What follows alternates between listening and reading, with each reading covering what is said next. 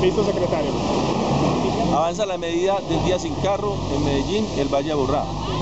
De 7 de la mañana a 6 de la tarde está prohibida la circulación de los carros particulares.